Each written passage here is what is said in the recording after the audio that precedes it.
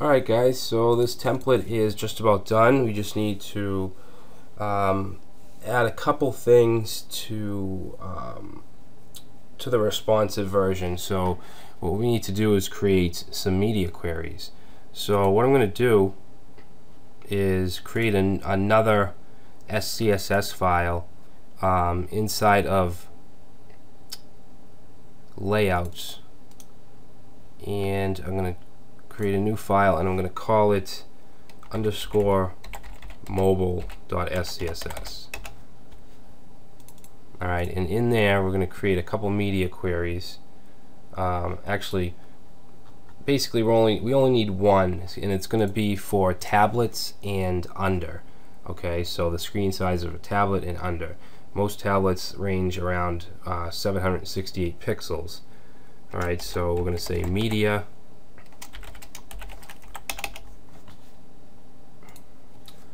and um, so max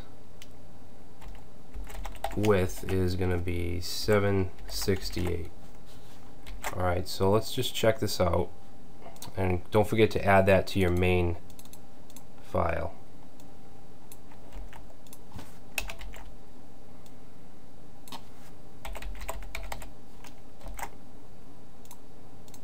Alright so let's make this smaller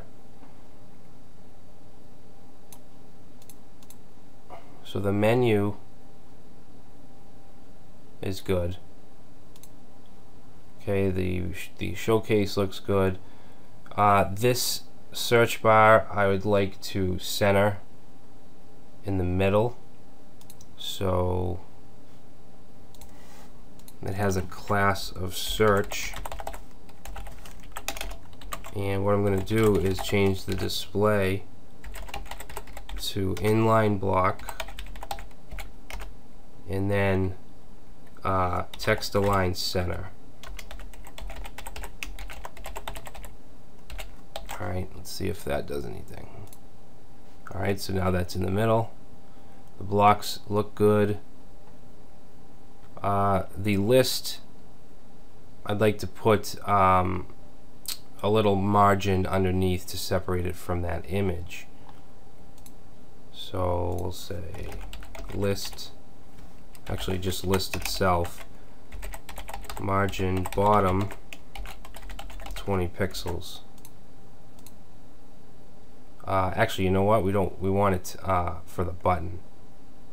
Shoot.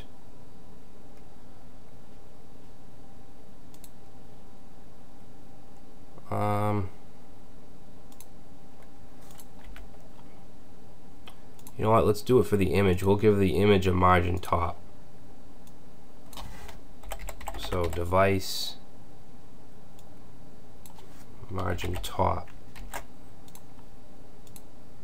All right. And let's see. Okay, so for this, for this image here, we need to make it smaller and we need to change the um, the negative margin that we have. So it had a, class of device small.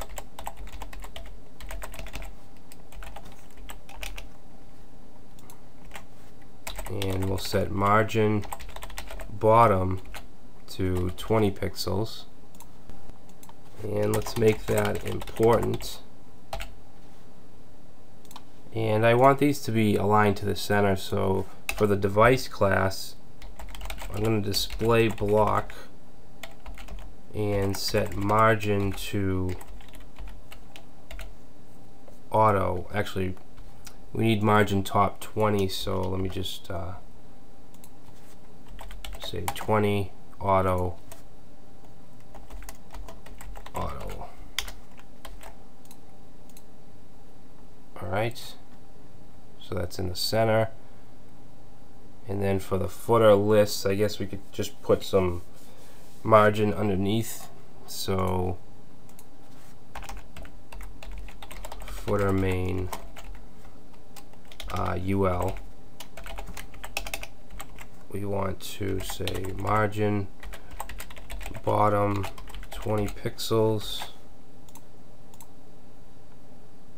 Okay. We could even text align center.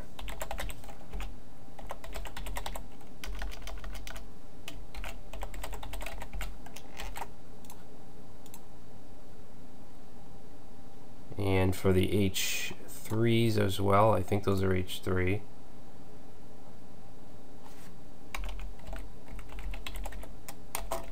Actually, we should be nesting these.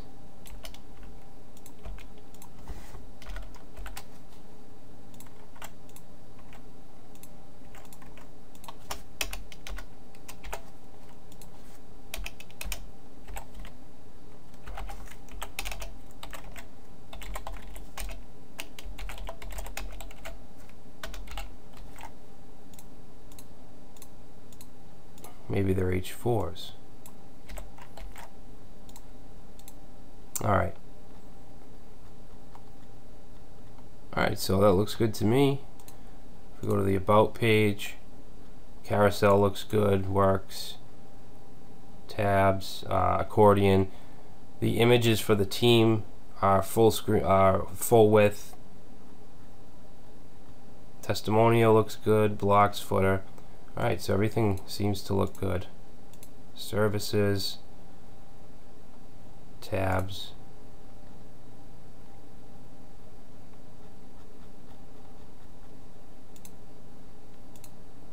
blog.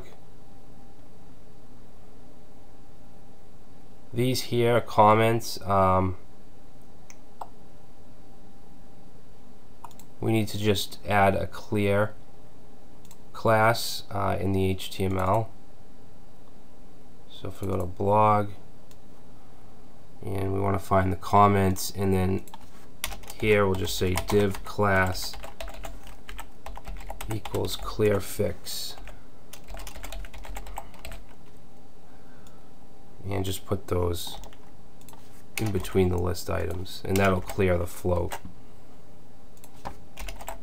okay and then we'll just go to SCSS base and we'll put it in the normalize.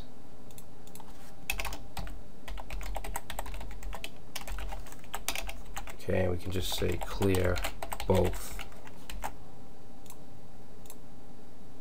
And also add um, to those list items, we want to add an overflow. So let me just go to modules list uh, not list, typography. And I'm just going to set it for all list items. So overflow auto. Um, hmm.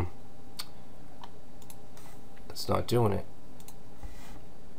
List comments, overflow auto,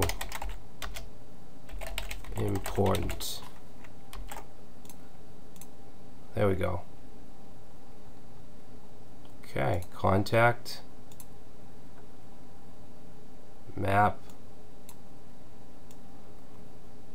form looks good, boxes. All right, so that's it. Um, I realized that that took quite a bit of time to build. Um, actually, hold one more thing here. We have this login link. Oh, never mind.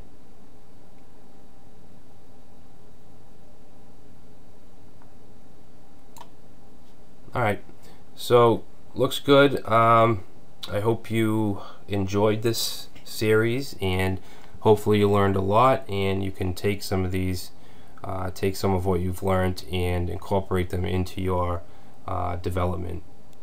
So thank you for watching and don't forget to subscribe.